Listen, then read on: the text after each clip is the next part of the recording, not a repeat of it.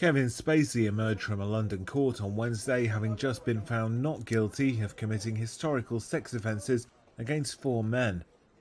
After more than 12 hours of deliberation, a jury acquitted the Oscar winning US actor of nine charges. I, uh,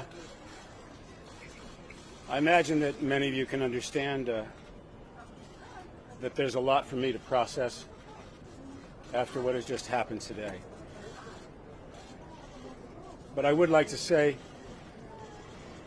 that I'm enormously grateful to the jury for having taken the time to examine all of the evidence and all of the facts carefully before they reach their decision. And I am humbled by the outcome today. The charges included sexual assault, causing a person to engage in sexual activity without consent, and causing a person to engage in penetrative sexual activity. Spacey, who turned 64 on Wednesday, began to cry and mouth thank you to the jury before wiping away tears with a tissue. After he was released from the dock, he shook hands with his lawyers before leaving court via a side door.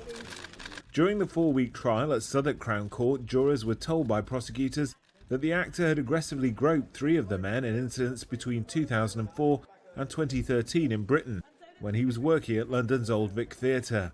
The fourth said Spacey performed oral sex on him while he had passed out in the Hollywood star's London apartment.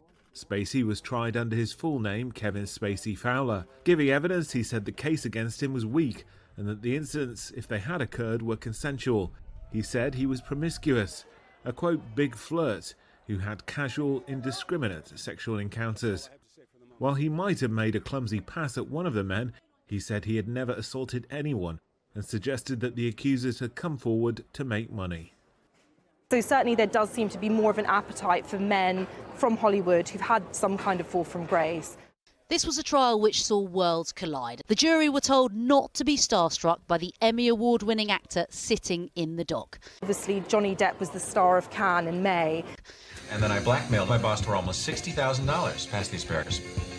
Spacey has captivated audiences on screen, but in court the drama was at his own door as the star became emotional on the stand, saying he'd felt pressure to come out after sexual assault allegations first surfaced against him in 2017. The relief for Kevin Spacey palpable in the air as the double Oscar winner was cleared of nine sexual assault charges.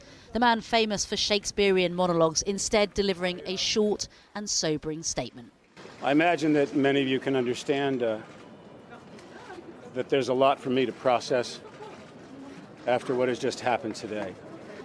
But I would like to say